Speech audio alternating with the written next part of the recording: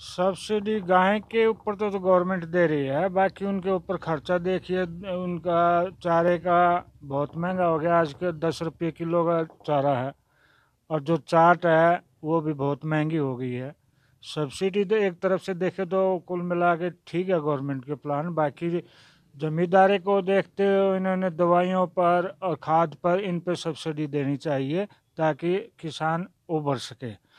जब तक किसान की तरफ़ ये खाद दवाई का सब्सिडी नहीं देंगे तो किसान की हालत दिन प्रतिदिन बेहतर होती जा रही है। उन्होंने गवर्नमेंट ने इस पर, इसके प्रति भी ध्यान देना चाहिए दवाइयों और खाद पानी इनके ऊपर सब्सिडी मिलनी चाहिए। प्राकृतिक खेती पे क्या कहेंगे? प्राकृतिक खेती बिना खाद पानी के वो पैदावार बैठती नहीं। प्राकृतिक खेती आज वो प्रचलन ख़त्म हो चुका है कि जनता इतनी बढ़ चुकी है। बिना खाद के पैदावार उतनी नहीं ले पाता किसान।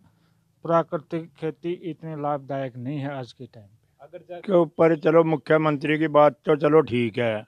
यदि जिम्मेदार करता है, दाने तो कम होंगे कम से कम फ़सल का रेट तो फिर उसका मूल्य ज़्यादा होना चाहिए, जब जिम्मेदार ना प्रॉफिट होएगी। क्यों? कई साल तो देसी का, देसी खाद गिरने की वजह से तो वो खाद औस्त घटाती है।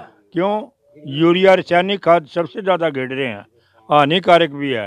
फिर इसकी फ़सल जिम्मेदार के लिए कुछ और रेट मिला तो उसका फिर प्रॉफिट होगा वैसे तो जिम्मेदार है मर जाएगा। वैसे फ़ायदा है जो पच्चीस हज़ार तक की गाय में सब्सिडी हाँ पच्चीस हज़ार की गाय में लेने में तो यदि यदि रेट बताते हैं तो। और चैने खेती करता है जिम्मेदार वो। उसको फ़ायदा है वैसे नुकसान है। प्राकृतिक जो खेती है ना ये है तो अच्छी। लेकिन खाद पानी बिना जो फ़सल है ना वो इतनी उपजाऊ हो जाती है कि उससे मतलब किसान अपना कर्ज सब कुछ उतार सकता है। प्राकृतिक खेती में इतनी पैदावार नहीं होती कि वो अपना कर्ज उतार ले। तो आपने पहले किया प्राकृतिक खेती? प्राकृतिक खेती की है लेकिन उसमें टाइम लगता है काफ़ी और इतना पैदावार निकलती नहीं। इस वजह से प्राकृतिक खेती को बढ़ावा नहीं दे सकते हम क्योंकि पैदावार कम होती है।